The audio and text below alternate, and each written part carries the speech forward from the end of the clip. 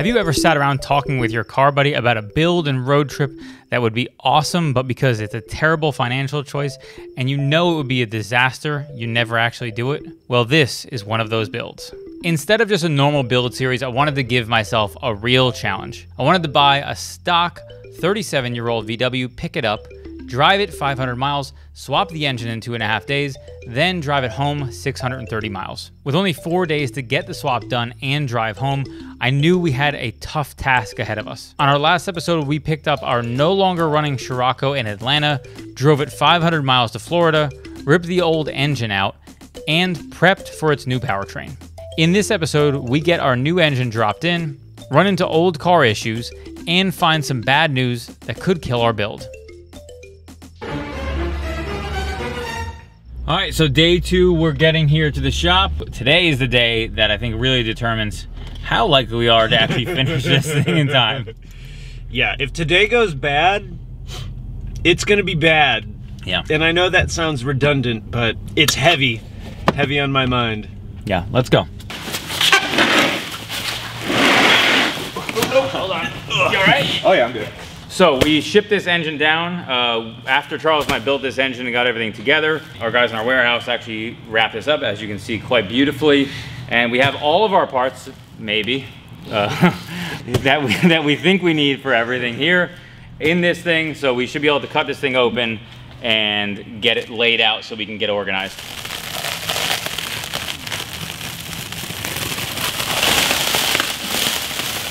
Yeah, Jamie put a freshie on there for us. Oh yeah, brand new. Yeah, it was beautiful. So we got ECU wiring, we got engine mounts. Man, whoever labeled this, phenomenal job. And then I think we'll actually just roll it over there, and then we'll start unboxing the rest of this stuff, get that stuff straight and organized, and uh, yeah, game time. Since these control arms look absolutely terrible, we decided to replace them. So Jamie actually got some uh, locally for us uh, on our way down because when we were at Eurofed, we were like, hey, these things look like garbage and they're all rusted. So let's get some new ones. 40 years of disgustingness is has rust and debris everywhere. This car was cleaned last night, uh, pressure washed. Char- Char- yeah, that's Charles. That's Char- 40 years of disgustingness, uh, aka uh, Charles, the Humble Mechanic. Did we get a nice new sway bar for this We thing? We did not get a new sway bar. We probably, well, if I was gonna get one, the good news is these are not hard to replace, but, it, oh, this thing has upgraded bushings already. They're like kind of a, a reddish color. I'm not positive, but because I'm no Mark 1 expert. I presume these are probably poly bushings in here or some kind of upgraded bushing because usually factory bushings are just gonna be like black and these have like a clearish red color to them. Oh, yeah. Almost hurt myself, but I didn't. And this guy. Yeah, the, the boots on this, as Charles mentioned when we were there, are pretty rough. And the joints, uh, this joint actually is, moves pretty freely, but these boots are completely smoked, which means the axle was probably not very good either. I don't know if Scirocco calipers came red, but I assume they probably painted them. Based on the back, back oh yeah, they did the old spray the outside look. So the, if you look back here, there's no no red, and if you look over here, there is red. So someone probably just, oh yeah, the springs are painted red too here. Yeah, that that's for sure an aftermarket deal. Uh, someone came after and painted. These brakes are gonna go away eventually anyway, but for the time being, we gotta deal with them. To get all this working, we have to flash the ECM. We have a battery plugged up to this system. We have everything toggled on because the guys at TDC shop put together a harness for us that will allow us to do so without anything being set up in a car yet. So we have it hooked up to a battery. We're first gonna immobilize or defeat this. Unitronic software allows us to actually immobilize or defeat this because obviously we're a dealer. Uh, and then we're gonna put our Unitronic flash on there for our swap setup. Oh yeah, I cut my arm a little bit with the wire wheel. No big deal. So this bushing goes up in the mount inside the body of the car. You can see we added it on on the transmission side. I think we're gonna actually replace this bolt right here so they are consistent and bolt goes through, bolts transmission to the car. Charles is climbing inside the engine bay because we're gonna test fit this front brace before we paint it. Luckily the axles aren't um, in there anymore for him to get cut uh, all over his back like I did. Things that are all gross anyway. What are those? Oh yeah. So these they're are- like air. eh, They're like air uh, airflow deflectors. They're rotted anyway, so unfortunately, Sorry, Charlie. yeah. Just so you're aware, we're no by no means experts on swaps, uh, but we are under the impression, or actually we know that Scirocco's are different. The Eurowise kit we're using it was intended for Mark 1 models. Because of that, there is some fitment issues and we ended up not using this. If we were to use it, it would have to be modified so it could reach both bolts on this car and get around this pinch weld. We ended up using the Eurowise front mount with the factory mounting location on the front of the car. Now, before we got started, it's always best to lay out all your parts so we can get organized and know where everything is. Our radiator, our fan assemblies, our shifter box and axles, lower control arms that we decided to replace, the ECM and the wiring harness, as well as the new accelerator pedal and the mounting bracket for the accelerator pedal. We also have our Solo Werks coilovers and the bushings to replace when installing them. We have our engine and transmission, which we previously built, which will be in a later video, that already has the Eurowise swap kit mounted onto it, as well as all the other parts. Okay, so important part of this is we have to cut the bracket off of this uh, this steering rack for the shifter linkages. So I am going to be trying to cut it here and here and almost make like a box around it. You could take the steering rack out to make it a little bit easier and cleaner to do, uh, but we don't have the time. After cutting a good portion of the steering rack bracket away and getting it out of the way, I found out that we had a fuel leak. That is a good time to stop cutting and shooting sparks everywhere. I had to discontinue it and we had to leave it in a non-ideal cut fashion, but enough for us to get the job done. Okay, so we have a fuel leak coming from right here on these lines. We cut them actually higher up because they ran to the driver's side of the engine bay. If you take a look there, we cut them there and then now it's leaking like way down here somewhere. Uh, this is probably because something shifted along the way as we've as we've been moving the car up and down and uh, the lines have cracked from all this rust and everything else. This is typical rusty car stuff you're gonna have on old cars. You're gonna have debris, rust, all that stuff happen on these lines. The right way to do this would be to replace the lines front to back. Uh, we don't have time for that. So, Nobody got time for that. So we're gonna try to fix this the best we can. Uh, right now we're gonna try to stop it from leaking. That's the goal right now, so we don't have fuel all over us. Hey Charles, Hey girl, hey. I don't like this tone, by the way. it's now leaking further back. Yeah, it's bad. Well, eventually we're, we're gonna just have no more gas in the car and we'll just drain it all and then we'll, our leak will be solved. There it is. Oh, There it is. We've located, we've sprung it. that, that's a, it's a gusher. There's our lake. Where's the leak, ma'am? Do we want to try and cut it like here, or try and cut it right at that break? But I can try and cut it there and just reclamp it. Yeah, let's do that.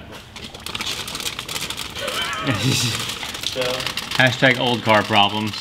As we continue with uh, driving the car, even once we get this addressed, assuming it does actually work, we're gonna crack a fuel line later on down the road and we'll be stuck on the side of the road with broken fuel lines. Literally down the road. Okay, so I got our coilovers from Solo Werks laid out here. These are the fronts. We got new uh, strut hats for the fronts. These are the rears, fully adjustable uh, with the height for our coilovers. Paul's dirt nasty, so I think we're gonna slam it on the ground. I also think we're going to have to temporarily anyway reuse our bushings for the rears because I don't think we got bushings I'm an idiot. for the rears. I'm an idiot. So I got front ones, but rear ones because I'm dumb. Also, note about these coilovers. These are swap coilovers, so Solo Werks makes spring rates for VRs in the front of older cars, Mark 1s and Mark 2s, uh, to allow you to actually put them in and have the correct spring rate so you don't have a really bad sag problem in the front of your car. So we'll link to all that, all the swap coilovers in the description where you can check those out. What's cool about these coilovers is they're kind of a budget coilover at around $500 or so, but this is the same kind of technology that goes into the really high-end KW. Now, you don't have adjustable damping and things like that, but for just a base affordable coilover, these are probably among the best. Yeah, so if you spin them all the way down, uh, mean, we're gonna slam the car on the ground. It's gonna be basically undrivable. Start them a little low, like lower than I'm gonna have the car, and then once they're in the car and bolted up, I'll, I'll spin the collars up. This one sets the height, and then this one locks the height setting one. We can slam it on the ground. We got a 10 hour drive home. And the uh, Scirocco's already low. So for the rear shock absorbers, which we're obviously replacing with coilovers, the mounts are actually in the trunk. And these are cool because you can access them. The seat sits about here. There's a shelf and then there's a little, little cover, this little guy that you have to pop off. We'll just zip the nut off and then drop the assembly down through the bottom.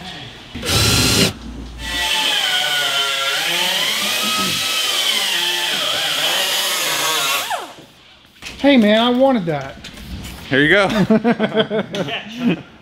prime on it, or else it's not gonna get black because it'll be in the Because this engine bay is gonna look pretty decent after this, we didn't want this to look like a complete disgusting disaster. This is not really the ideal way to paint a brake booster, but this is the life we're living. So the rear bumper and the front bumper on this car is old. The black bumper, which was nice and shiny at one time, is now dull and gray. And there's a quick, easy way to turn them black. And I'm gonna show you how to do it. If you guys wanna check it out, go to my YouTube channel, In the Fast Lane with Jamie. I'll have a whole video just on that. Hey, so uh, we got to get this old Cresto shifter. Look at this thing. Womp, womp, womp. We got to get this out, and I also have to cut the sound insulation out a little bit. I think I might actually have to cut the carpet too, so that we can mount the 02J shift shifter box in. So that'll change it from this like stick thing to uh, to cable cable shift, and it'll be way better. And we might actually find a gear on the way home. We had some exposed metal that we wanted to clean up and, and uh, get take care of. So yeah, we taped it off, painted it real quick, improved the aesthetic dramatically. It's gonna be gorgeous. When you're on a tight timeline, painting a bunch of things and spending a lot of time doing that is real dumb. Because I make terrible life choices, I did that. So I'm trying to figure out if we're just rusted or if or if we have the wrong size. This is that's a good question. When you have old cars that are all rusted, it's like, is it the wrong size socket or is it just rusted? It's a game. It's a, it's a game we like to play when we're working on old cars. I need a flathead pry bar screwdriver. Okay. What have you been doing? Um, pretty much just wa wandering around and handing the guys tools they need. no, you did that Walking back around. bumper that looks amazing. I did. I did do the back bumper. I still got to do the front bumper, which we'll do here soon. Even if the guys aren't drivable, at least the car It'll look bumpers will look amazing. It'll look good sitting outside your shop when we leave it here. For some reason, they're standard, so I had to get a 7 16 This nut is rounded off.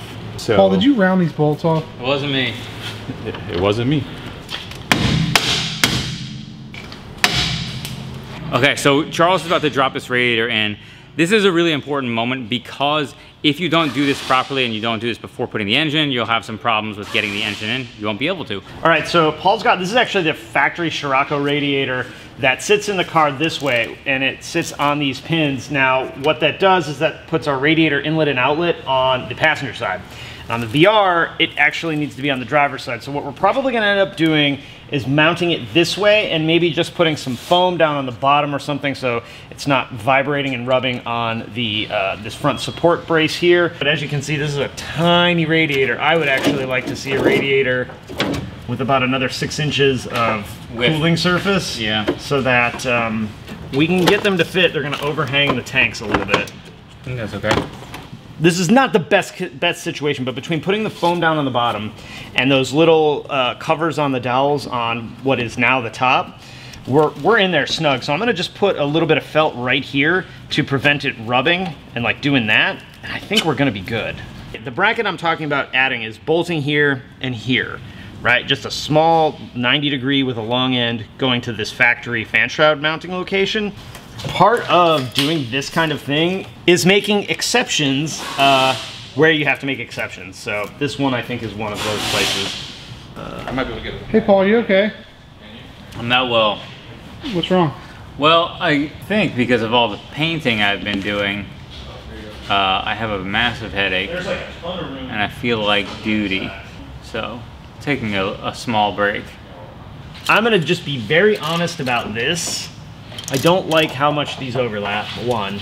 And two, I don't like how these mount for a couple of reasons. One, there's no shroud, um, which would cover up some of this open parts of the radiator and force air through where the fan is. So the way these work is this piece right here actually punches through the fins of the radiator and then there is a little lock here that clips it on and kind of locks it like a zip tie would. It works. I just don't love the idea of poking through the fins of the radiator. It decreases coolant efficiency a little bit. Let's just hope we don't get stuck in any mad traffic on the way. when you're moving, you're good. It's when you stop. If you watched our previous episode when we rebuilt the engine, we pumped up the oil pressure, We also pumped up the jam. but pump it up. Uh, so what we want to do before we actually start the engine is get a mechanical gauge on it, verify that the oil pressure is good before we actually start it and potentially have it running and damage the bearing. So we'll have this thing with probably with no fuel hooked up to it yet, crank, crank it over and check the oil pressure like that mechanically. So we didn't do any of that stuff at all. Because of the later problems we had that distracted us pretty heavily, Absolutely. but that is the right way. You should always have a new engine tested beforehand. Yep. Pressure gauge on first startup. So do as we say, not as we do, maybe? Yeah, like my like my dad used to say, hypocrite. this build is probably too many details for us to actually go over every minute detail. Obviously, this is not a DIY, but you are going to get every. This is a don't why. Yeah, yeah. Uh, you are going to get everything that you would need to do for a swap as far as information and insights probably we're, we're definitely going to try to hit on the key uh, most important things but there's going to be a ton probably hundreds maybe even Billions at least. of things How many that we're going to deal with along the way uh, that that we're not going to talk about a big thing that he spent time doing while i was over here sitting on my ass um, was While Paul died, Yeah. uh, this is what I did. uh, I was feeling not well, but fun fact, uh, Corona masks are better for probably more than just coronavirus. You also can use it to cover your face while you paint stuff uh, because that I probably wouldn't have felt like garbage for, for an hour and a half. They went through all the stuff for running it through the firewall and figuring out where we're gonna, what we need to run where and what we're placing in the car. So uh, that's something that they didn't show you and uh, it takes a long time to figure out what plug goes where and where it needs to be. Are you ready to fumble? All right. Yeah. It's tight. I don't know if it's gonna go in this way. It's tight. I think we might have to do what Jamie's original idea was, which was just yeah, try to drop it in the top. Dropping it from the top, make it drop right into the spot. come Yeah, but the up. engine mount's there too, right? Right. It's but if you look, the you can't we can't drop it straight down. So what we're running into, and this The hole is too small. this is part of how this kind of stuff goes. In rather than getting the engine hanging or the car on top of it, this is why we wanted to roll it into place where it's at now, so that we can evaluate: is this the proper way to do it, or does it make more sense to get the engine way up and then take it? You know, if, if the engine were sitting like this, drop one side way down and slip it in, and then level it out and bolt it up. So this is kind of what we're looking at now. This was the point of this exercise. Slip it in, Yeah. apparently, I flip say, it around, level it out. According to TikTok, I say a lot of dirty things uh, accidentally, and then I'm disappointed in myself for not hearing them. So we talked about a number of ways to get the engine installed, and depending on how much of your engine is put together, the kind of vehicle you have, there's probably 10 other ways that this engine could have went in the car. We are no swap experts. We don't do these all day long, so there might be a variety of ways that are better. I've heard of people who said they were able to drop it to the bottom. I've heard of people who do it with the trans off and then swing it up in. I've heard of coming some of these ways. What you're about to see is what we did. I bought it for the Lotus because it's a mid-engine car and you can't use a cherry picker because the arm is just like you can get it on the engine but you can't get it high enough to get it out of the car. So you bought this just for that one car? I, I literally bought this for that one car. Yeah, I mean it was either that or we couldn't work on it. this is what like pull apart has Yeah. when you go to the junkyard and you need to snatch an engine out. You- you- They're not. Uh, they're usually manual though, aren't This they? is 150 billion times nicer though. All right. Nice job, guys. Very nice. We are ready to put the engine in. We have this very awesome contraption that Jamie has at his shop, which is gonna make this a little bit easier. We are gonna try to swing this thing in. So you see Charles has a really long chain. Here are two other chains over here. Two Uh, and uh, away we go. Hey, you know what else is going to happen? What's that? Um, everyone in the comments is going to say that we're cheating because this is Such a nice rig. I mean, we are cheating. You're not cheating. You're not trying. That's exactly right. If you're not cheating, you're not trying. Yeah. Here we go. Okay. Whoa. Little. Okay. I'll uh, not do it so fast. Just watch it. So it's up, down, and then like an emergency stop. That's it. Okay. I'll just keep tapping, and you guys tell me if you need to stop. How's how are we looking up front? Uh, so far, so good. Okay. Okay, keep going. Good. Yeah, I'm gonna have to come this way more, and then we're actually gonna have to go up on my side. Charles got, uh, or actually, uh, we got the mount in. it, was, it was kind of a combination deal. Uh, we got that mount in on that side. Uh, the issue we now have is the oil pan here. So if you look, here's our oil pan of our engine. It needs to go down. The issue with that is you can see this bracket is where the engine mount, this guy, needs to actually go. So if we drop it straight down, it's just gonna slam down on top of this frame rail and, um, but, I mean, it'll mess it up, but uh, nothing else, the engine's not gonna go in. So we have to get a little more creative. We're probably gonna have to drop this thing down further in to get it past where it's actually in right now and then, and then pull it up together. How are you clearance wise, Paul? Uh, I'm not good. Maybe this is what they, they were talking about when we heard that Scirocco's have a lot less clearance. So we, ha we have to get creative because we have some challenges of getting cleared in there. Charles may have a solution he's working on currently. I've heard him toiling over. If not, we're gonna bring in this thing to jack up the other side of the engine. We're gonna have two engine hoists. Ideally, in this circumstance, we take the, the booster or the master cylinder off to give us the clearance we need to drop it in. But the issue we have is because this car is really old, we're very concerned about any of the bleeders that you have to bleed the brakes to actually uh, take that master cylinder off. We are afraid that if we try to crack them loose, they're gonna they're gonna break off, and then it's never ever gonna work again. And then we're gonna be stranded here because we can't bleed our brakes, and then we're gonna end up replacing all kinds of brake lines and all kinds of stuff. So to avoid that, we don't want to take. Not only do we not want to, we almost can't take out the brake master cylinder because if we do, we might end up in a really bad pickle. Uh, okay, so Charles is taking off the throttle body. We think if we take off the throttle body and the combi valve right down there, uh, the combination valve for secondary air, that we will actually be able to clear this other stuff without any problem. So this is a much better option than the janky shit we were about to do, um, which was to jack up this side of the engine even higher using a secondary uh, a secondary cherry picker. So it would be inverted. Oh, would Put it in inverted. upside down. Tom Cruise. Yeah, like like uh, like the Iceman. People are watching at home and like, wow, what a group of fumbling idiots. Yeah, this is what this is what working on cars looks like, people. Loop drops in, perfect, no problems. That never happens. Especially when you're modifying cars like this. Yeah. Look at where we're at though. We can clear this. That might work. Dude, we're tight everywhere. Okay. So, All right. Just Are we ready? just, yeah, little boops. one boot. little. All right, boop again, Far so good. All right, boop again. so we're getting we're All good right now. I actually have more room now. Go ahead. All right, now we're getting very close to this sensor. Okay, Um, what if I do this? not really. No, that's not Nope. Nope. That's worse. Yeah. One thing we had to do in this circumstance because the tolerances were so tight is one of the sensors on the brake master cylinder we actually had to bend the pins Yep. 90 degrees sideways because that's how much space just this, the the length of a, an electrical Yeah. terminal pin Half which a is centimeter. yeah that's what we needed to actually get to get the engine and trans all the way in Luckily, we were able to bend that back, no problem. Yeah, and, no issues. and it worked fine. And had the car not been rusted, we could have just taken it off, and it would have been fine too. So True. Perfect. So let's give it another gentle boop. all right okay beautiful we can come back now I am like very. We're I'm, I'm on. um you ready yep. Yep. Keep going. This front is This now. The manifold looks like a serious problem. Okay, can we push it? Can we rotate the engine back? Uh, you can probably pivot this way, but you can't. Okay, we. One more. One more. One more. So something's hanging up. Something's hanging up.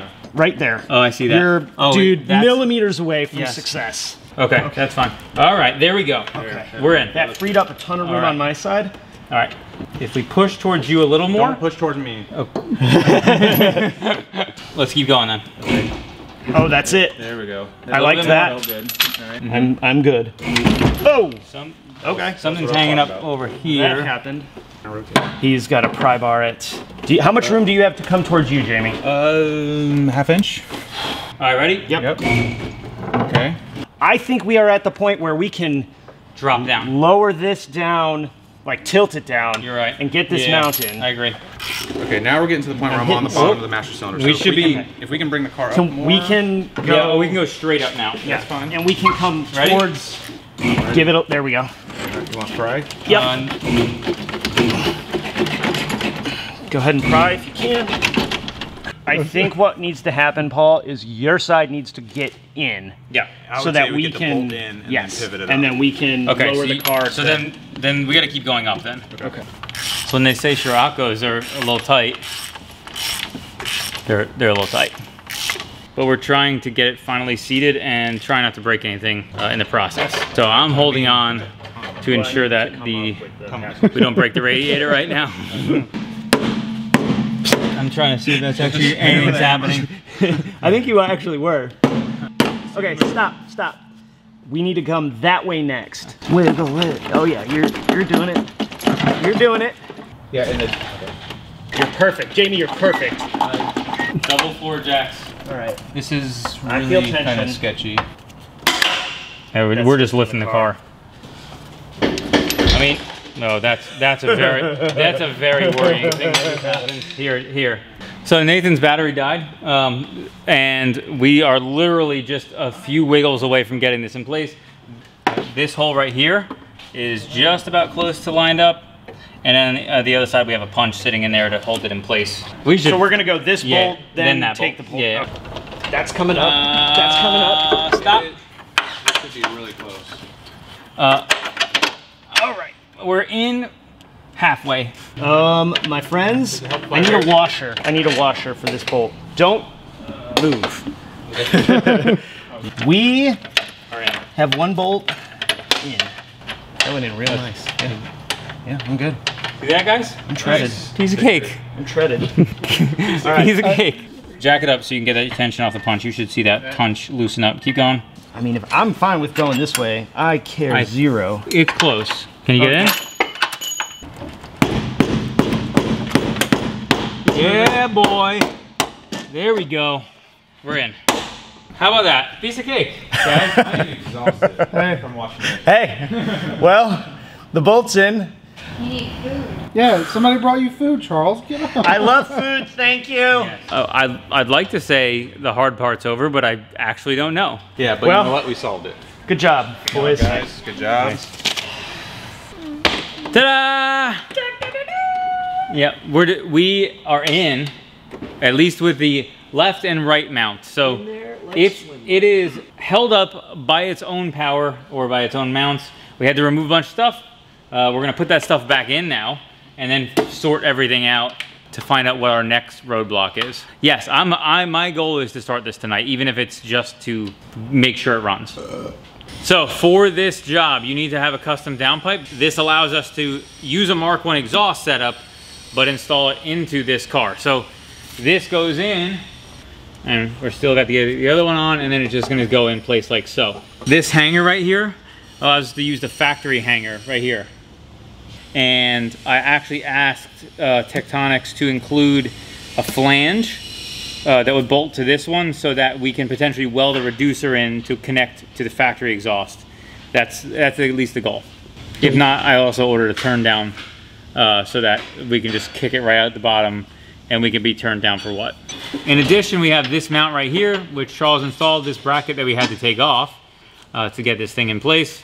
And this, this is our rear mount. So it goes to the body here and then has this little hockey puck style guy in the center. So here we have our hole for where our shifter came down. Obviously the old system had a rod that ran through, but we're swapping to the cable style like this, which, which is from an 02J trans. This, is, this actually came out of a Beetle. Uh, and so we need to mount this in here. Now there are no holes for the, these two studs that come through the floor and then this rear bolts that actually mount up here. Charles is actually working on drilling these holes. The biggest issue you have with this is once you drill the holes, you, the hole is not big enough, so you have to cut that, which obviously you have to worry about making sure you don't set the car on fire inside with all the carpeting and stuff. But then the other part is, is that the back of this, as you can see, these studs are on top, but then the holes back here are much lower. So to make this sit flush, you actually have to put spacers in between here at the back. Otherwise, the whole shifter will be cocked forward once you mount it up. So you gotta kind of like make it sit more flat like that. Uh, we're gonna have to figure out a solution for the, for the rear of this as well.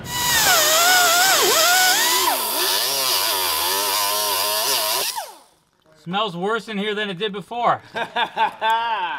so right here is the front mount. So we have the cross brace that we installed, and then to get this installed, we had uh, we had to use a ratchet strap because of some of the clearance issues, which you can take a look at where we have our ratchet strap here. We're hooked on here.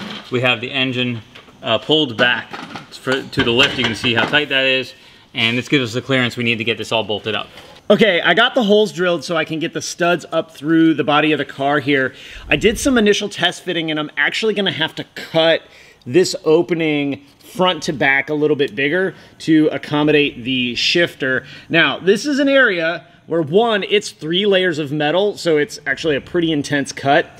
And two, you do not want to mess this up. This is the body of the car, so I took extra care to measure once and I'll cut seven or eight times. Wait, that's not right. Cut twice, measure none. How does it go? I don't know. I just cut until it's. Cut until it goes all the way up through. or measure twice and cut once. He's got sparks flying. He's got carpet in the car. We've got this ready to go. And we got some, so we had some fuel lines in the car that were leaking earlier. They're capped off. There's probably still some fuel vapors. And we wanna, better be safe than sorry. I am cutting from inside the car. This could be sketchy. Maybe sketchy. You know, you know what you can't file? What? This huge, this huge lip here. Oh, I can cut this though.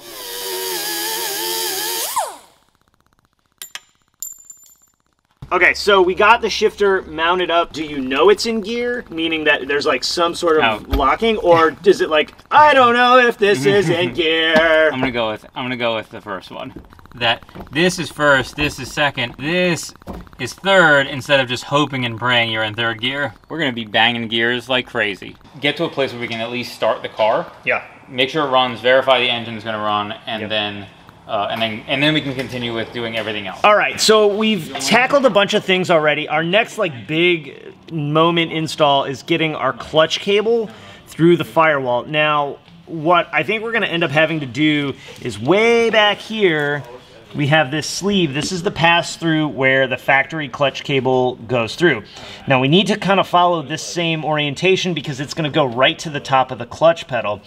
But if you'll notice there's like this retainer and then this sleeve that's sticking out.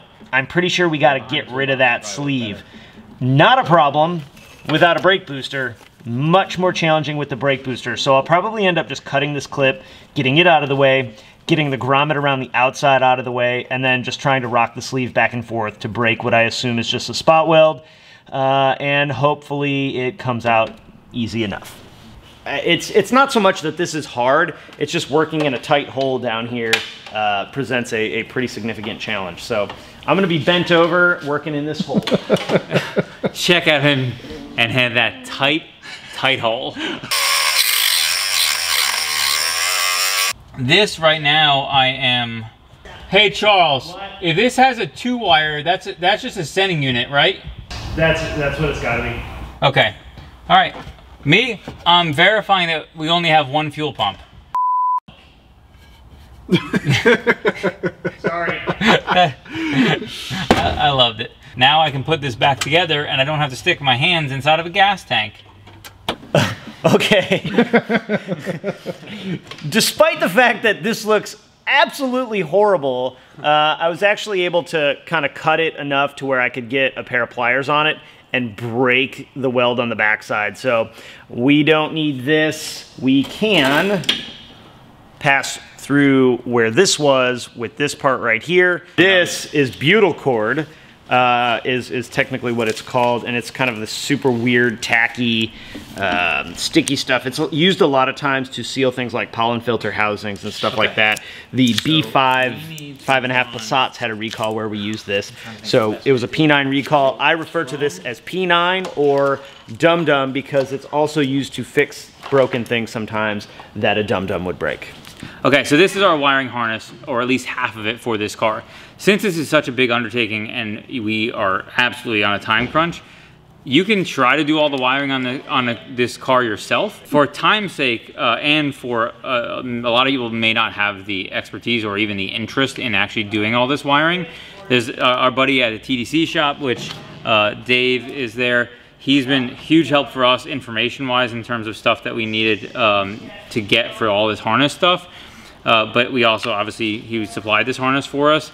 And to me, for what he charges for these things, it's not cheap but for most people this is going to be by far your best option he's going to give you a turnkey solution we did one that he calls like a race solution which basically just has like a toggle Whoa. switch Dude, So- whoa, are we a race car now? we are a race car so he does like this vroom, vroom, some fighter jet stuff so uh, this is so that we don't have to worry about wiring into our dash because sometimes old cars the wiring gets super questionable and and uh, it may not be reliable. So this will allow us to know for sure the car is going to start. Uh, and all of the other stuff he labels so that you know exactly where it goes. So this is pretty much turnkey. This plugs into the ECM.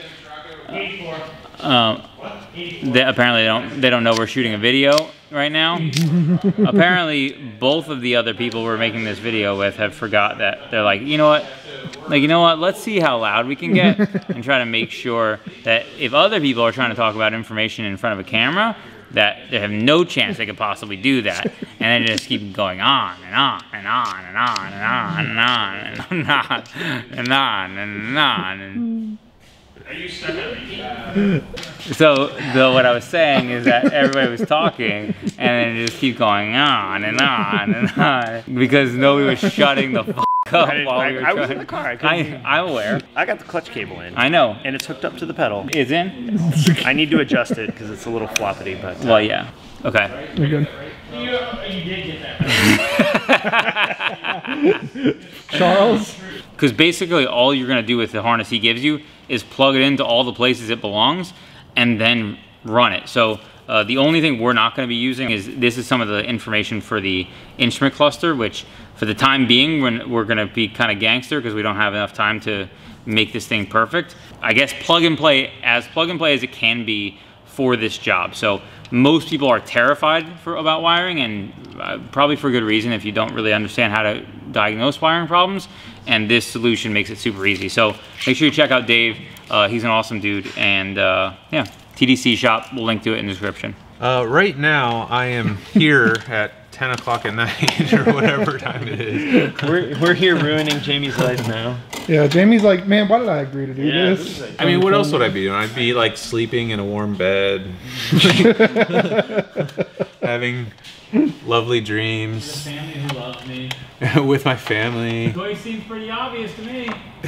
so part of this harness has the the drive-by-wire pedal plug, uh, which to make it as easy as possible. So that needs to run inside the car. But this is a pedal bracket from Eurowise, and then we have our gas pedal. So that goes on here, and then you plug that in to here, and then we just mount it in, and we should have drive-by-wire once we run everything through the firewall. No throttle cable. Okay, so we're under our dashboard here. We're gonna look at installing our pedal bracket, which goes, obviously, the original accelerator pedal has already been removed. Here is our drive-by-wire one. Uh, that's not very good lighting. And this bracket has to be mounted. Now to do so, I have to do a little bit of trimming of some original like uh, batting and stuff like that, and then we should be able to mount this, hopefully. It's possibly different because it's Scirocco. We're not sure. about to find out. Over the course of the next hour or so, we got the minimum stuff put together required for us to start the car. Nothing pretty, just everything kind of tucked out of the way so no damage caused. But just we needed to get this car started right then and there. First, we're gonna crank it to get as much oil pressure through everything that we can. Here we go, negative battery terminal. We got power. Nothing has set fire yet, so that's a good sign. Yeah. No smoke. Oh, that's satisfying. Oh, okay. Nothing in the belts, right? We're clear? Okay, ready?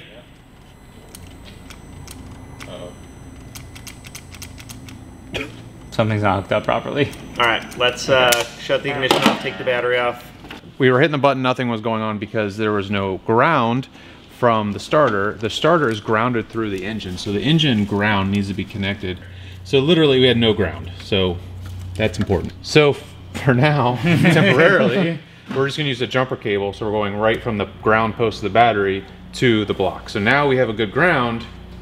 Hopefully it'll start. What he's saying is I'm stupid and I didn't connect the ground. I'm not saying you're stupid. I mean, he said it in a much nicer way, but that's the truth. Uh, part two.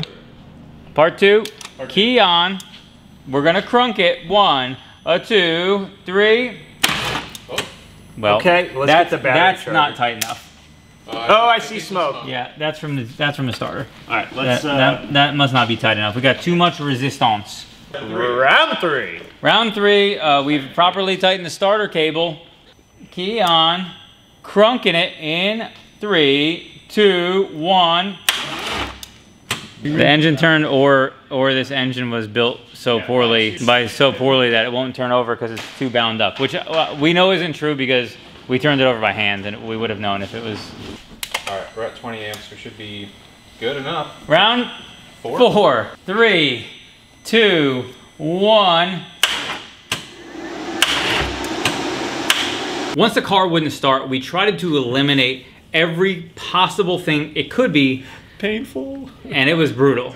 So here are all the starts we attempted while trying to get this engine started. Go for it. All right, go. Should we grab a jump box? Yeah. This is the woes of uh, of a project. And then, boop.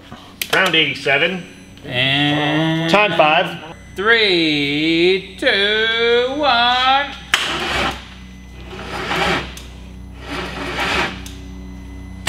Let's, okay. we got I don't smoke. like what's going on here. We got some smoke somewhere over yeah, here. it's a starter. Round number seven, seven, 777. 777. I mean, I'm fairly easily turning this. Yeah. You see me, I'm barely. Yeah, I mean, I'm this is a long coming. ratchet, but. Yeah. And that's turning against compression. Maybe we do have a bad starter. Yeah, we got a problem. All right, let's do this. Stop. Yeah. Dude, this feels exactly like a locked up trans. Well, How Well, warm this wire is is telling me why don't it's we a do this? resistance issue. let's put it in gear, and I'll rotate it around and see if it moves. Okay. No problems at all. Yeah, everything looks good there. So I guess let's test the starter. How do you test a starter, Charles? Well, you're about to find out. That seems slow as For for like for that. going? That should torque up. Why don't we here hook the jump box up to this battery, please? That was way more power Wow. than that battery. So maybe we got a bad cell. It's possible. New battery. Who dis? Who dis?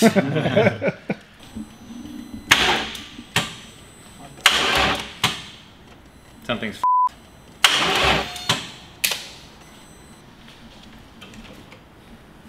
All right, so bad possibilities. Starter.